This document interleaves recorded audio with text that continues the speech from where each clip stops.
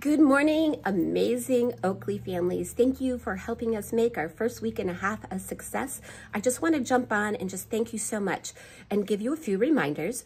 First reminder is um, uh, our doors open officially um, unless you're a car rider and have to drop off your kids early at 7.55.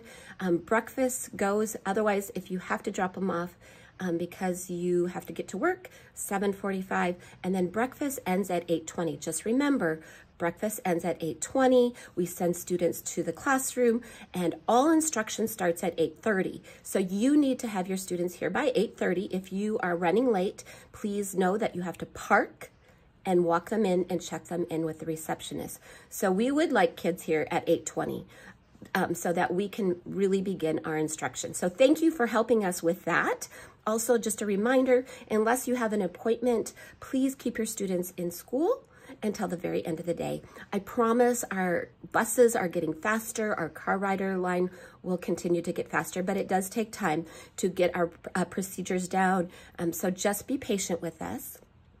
And also just a reminder, tomorrow is our kickoff for our house party. Um, every all students are in a house, and I'm going to send a little presentation that talks about that at um, that the students will be seeing today. Um, I'll include this on this remind.